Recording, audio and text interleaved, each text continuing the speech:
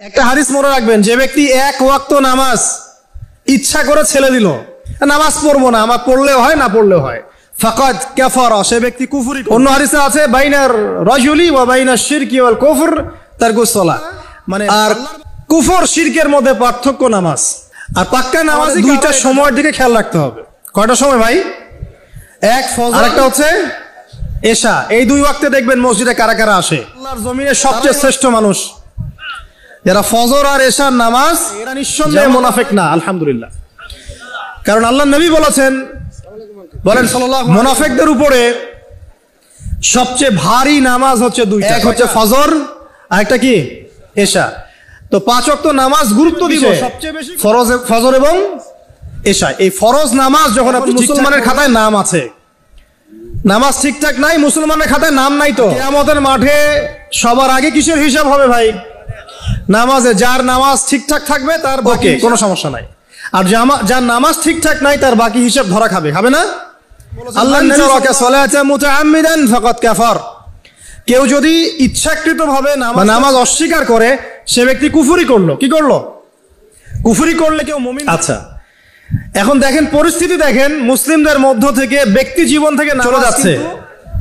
বেশিরভাগ মানুষ নামাজ পড়ছে না অতএব প্রথম মেহনত হওয়া কিসের উচিত? আজকে থেকে নামাজ ছাড়বো ইনশাল্লাহ আজকের এই লেকচার কানে চলে যাওয়ার পর নামাজ ছাড়বেন?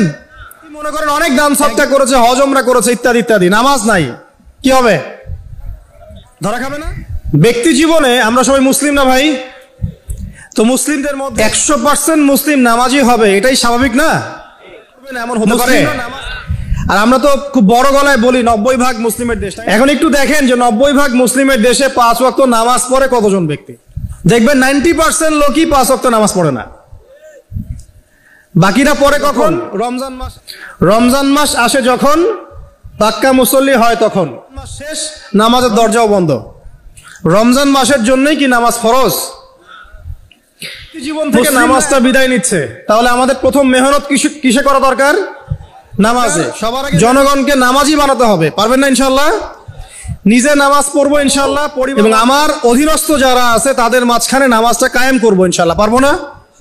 যদি আপনার সাদরের কলিজার টুকরা হয় নামাজ কালাম না পড়ে ওকে মহব্বত করবেন? ওকে বুঝানো ছোটবেলা থেকে নামাজের ট্রেনিং দিবেন। দশ বছর বয়স হয়ে গেছে নামাজ পড়ে না। বলেছেন তাকে পিটাইতে হবে। আল্লাহ নবী মুহাম্মদ সাল্লাহ কঠোর। বলেন। সেই দয়ালু মানুষটা তিনি বলছেন নামাজের আদেশ করবে আর দশ বছর হয়ে গেছে নামাজ পড়ে না ওকে পিটাবে। নবী করিম আলাইসাল্লাম কি এখানে কঠোর হয়ে গেলেন? আল্লাহ পাক আমাদের সবাইকে সবাইকে পাঁচ অক্ত নামাজি হওয়ার তৌফিক দান করুন আমিন।